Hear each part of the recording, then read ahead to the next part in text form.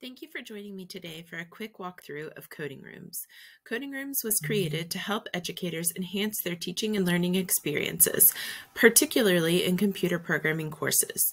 This includes content creation, content delivery, and available quality pre-built content. We've built our product based on feedback from business, coding bootcamp, K-12, and higher education clients. We hope you enjoy it. So here we are on the Coding Rooms dashboard. Creating a new course is as simple as clicking the blue plus new course button in the top right hand corner of your screen. Choose whether you want to create an empty course and use all your own content, or start with a template and remix our pre-built content with your own content. For demo purposes, I'm going to start with a template. You can rename the template whatever you want. Choose whether you want to publish all content from the beginning or publish each module as you go, and then create your course. So this is my course. Over here on the left-hand side, you'll notice the course navigation bar. I can navigate to various administrative sections, as well as all of my content sections and lessons from here. So one of the first things you'll likely want to do is add additional course administrators and learners. To do this, you'll go to the People view and then click Admins TAs, add Admins TAs to add additional um, teachers to your class. Type in their email and click Invite. To add additional learners to your class, you'll go to learners and click copy join link and you can send that link to your learners to join your course as learners. So once you have people in your course, you'll likely want to create or customize the course content. So click on the module that you want to start customizing and you can click into the content anywhere that you want.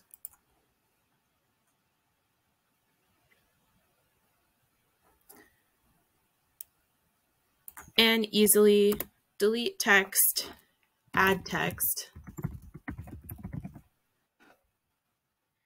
format text, move content around,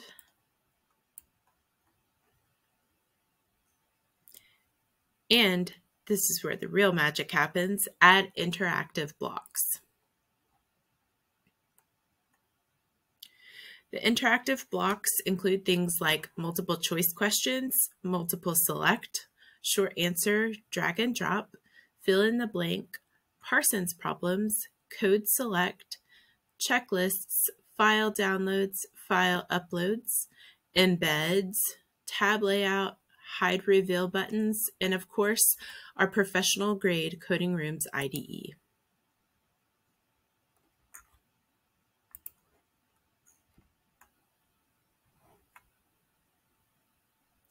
Keep in mind that all of our content creation is collaborative and in real time. This means that multiple course admins can be in here working on the content together and they can see what each other are doing, where they are, and collaborate in real time. Also, all changes are automatically saved so no one's updates get lost. Now you also have the ability to assign or publish content to all learners or to various groups of learners. And you can even make a particular interactive lesson be a group assignment.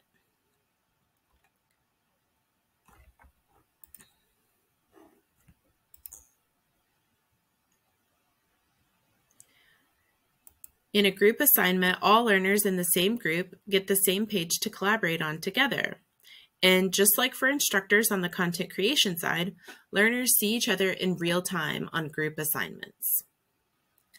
Our IDE is a professional grade IDE and it's built ready for auto grading submissions.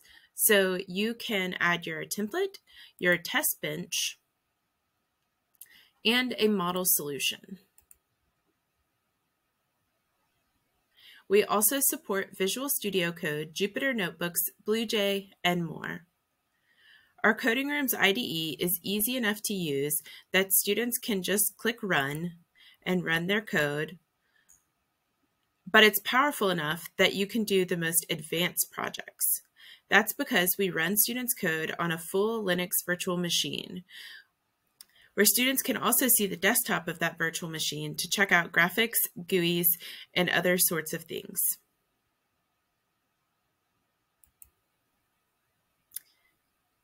That's one of the powers of coding rooms.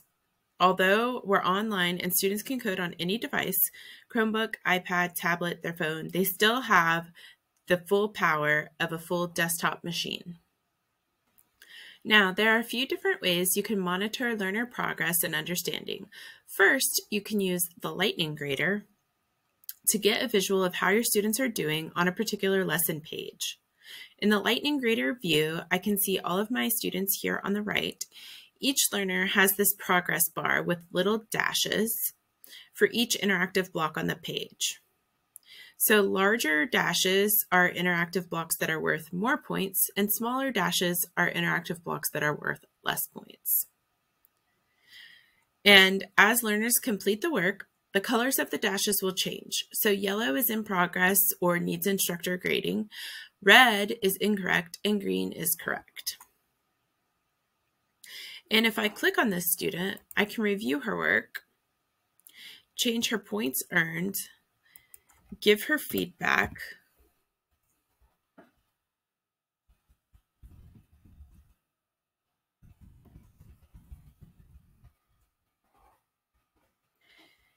and go to the next student or return her work to her for revision.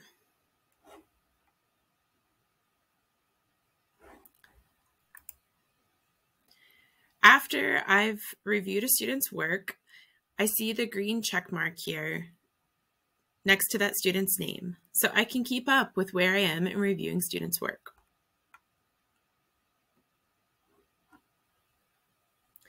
The second way that you can monitor student progress is through the grid view.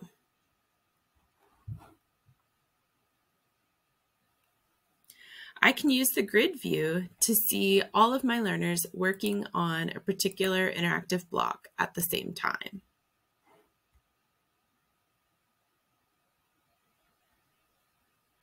For example, if I'm running a live class and I'm having all my students work on this IDE interactive block, I can monitor their work in real time from the grid view. And again, I can jump into any learner's IDE and comment, adjust their code, and even run their code for them.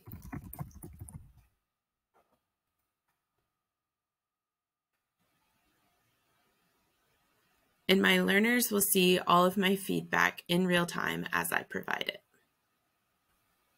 So the third way to track student progress and understanding is live presentation mode. I can use presentation mode to present to the class in real time. I can choose whether I want to present to the entire class, a group of learners, a section of learners, or an individual learner. I can also choose whether I want to turn on video conferencing or not. We do have video conferencing built directly within the platform in Coding Rooms. And I can choose whether I want to force my students to follow the presentation. So with this on, learners will be redirected to the lesson that I'm presenting.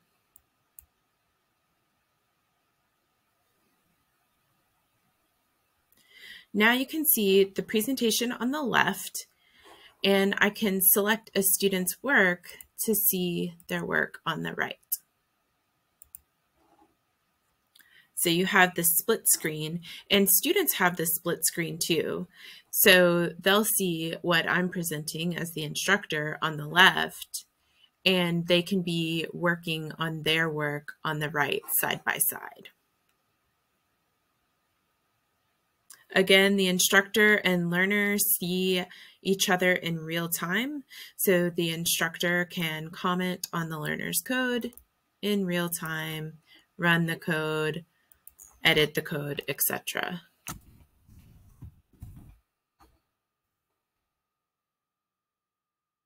This is great for those synchronous class meetings or even for something like office hours.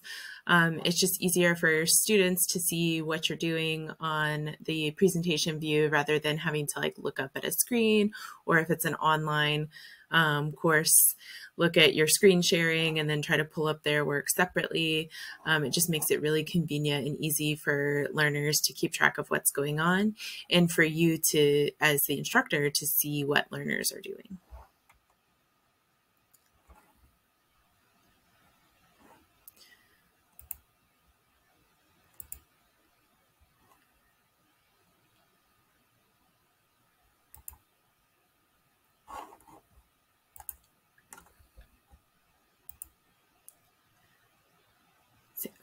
The fourth way that you can see how students are doing is the gradebook.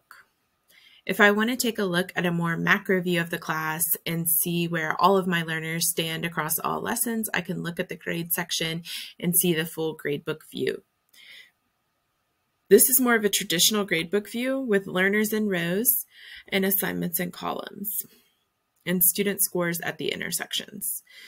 You can change student scores here and um, click to view their submissions. And if you've provided any feedback, you can see that here as too, as well too.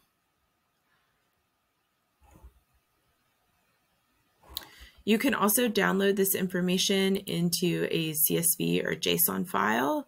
So if you need to share learner progress with one of your clients, administrators, etc., you can easily export the grades and share with them or export and import into an LMS if you're using a separate LMS and not integrating coding rooms into it.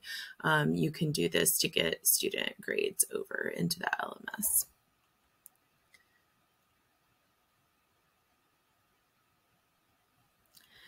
So that's a quick overview of the content creation and content delivery capabilities and the pre-built content available within coding rooms. We're constantly working on improvements and expansions.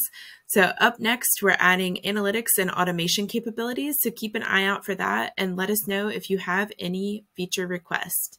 Thanks for watching.